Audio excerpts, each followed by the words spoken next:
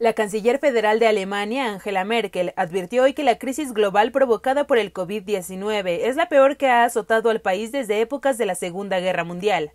La mandataria aseguró que se trata de una situación grave que debe ser atendida al acatar medidas como el confinamiento de los ciudadanos desde sus hogares, sumado a otras medidas de protección, en lo que calificó como una tarea histórica que solo se puede lograr juntos.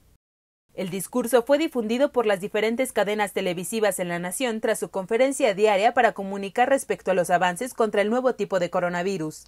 La situación es grave, tómenlo en serio. Desde la Segunda Guerra Mundial, nuestro país no ha enfrentado un desafío que depende tanto de nuestra solidaridad colectiva, dijo la canciller. Merkel advirtió el miércoles pasado que debido a la rápida expansión de la enfermedad, el 60 y 70% de los alemanes se contagiará de coronavirus.